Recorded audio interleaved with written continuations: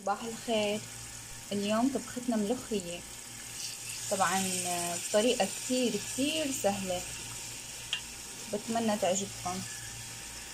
هلأ حطيت بصلة وملح وفلفل أسود. شوحت البصلة شوي ونزلت بمكعبات الدجاج. هلأ الدجاج بدي أشوحه على الجهتين وأحمره بعدين أسلقه. يلا نشوف.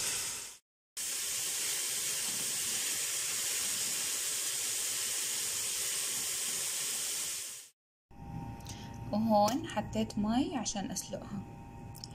بسلقها وبرجع لكم. وعندي هون الملوخية الخضراء. آه نظفتها وغسلتها تلت وجوه تقريبا عبين ما نطفت كتير منيح. وصفيتها بالمصفاية بس يعني ما حطيتها على إشي ونشفتها. بدي هيك يكون فيها شوية مي. يعني بس حطيتها بالمصفاية صفت المي الزايد عنها مثل ما أنتم شايفين هيك بالمصفى. وهلأ بدي أقطعها. آه، نشوف كيف.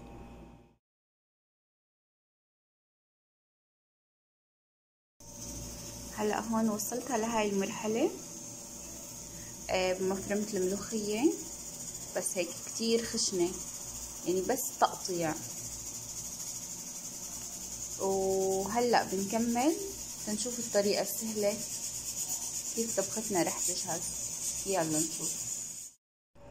هلا هون حطيت الملوخية بس قطعتها في الخلاط. الخلاط الكبير. هلأ هون حطيت آه، مكعبين ماجي. هي الطبخة الوحيدة على فكرة اللي بحط لها ماجي لأنه الماجي كتير بفرقوا بطعم الملوخية.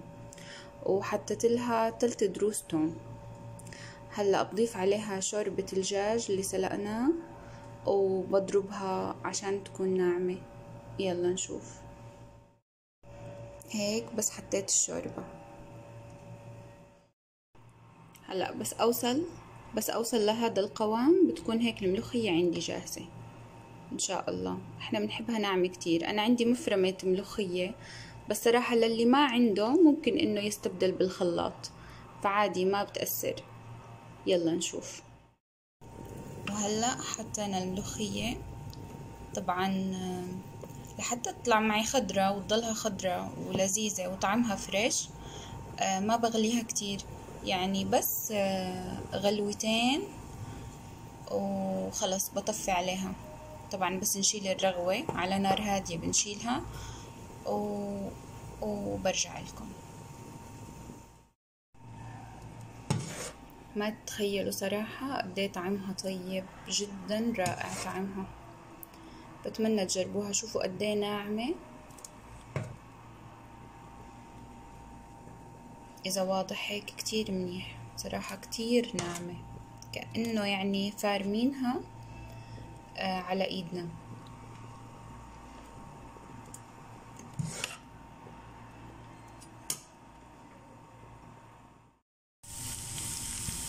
طبعا هون توم عم بقليلها إياه عشان اعملها طشة. وراح أحط إضافة برضو صغيرة اللي هي بتعطي طعم كتير طيب صراحة. اللي هي الكزبرة الناشفة راح أحط معلقة صغيرة. يلا. وقت اللي بت... وقت اللي بتبلش تتحمر حط الكزبرة الناشفة وبقليها شوي. بس هيك تطلع نكهتها.